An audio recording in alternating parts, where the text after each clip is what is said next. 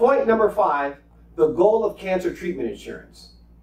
The goal of cancer treatment insurance is to provide money to help with the way your life dynamics are changed as a result of cancer.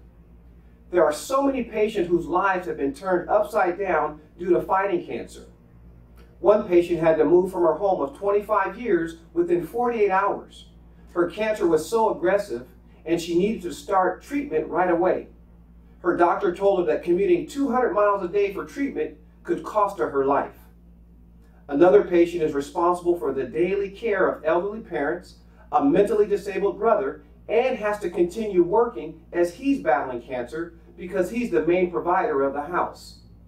Another patient had to immediately change her eating habits to an expensive, organic, and nutrition rich diet in order to help her body recover from the harsh effects of chemotherapy and radiation treatment. There are so many more stories, but these are just a few examples that I'm aware of. For these patients, the changes were unexpected and very drastic. Having extra money helps respond to these abrupt changes so you or your loved one can stay focused on fighting cancer, not the financial impact of fighting cancer.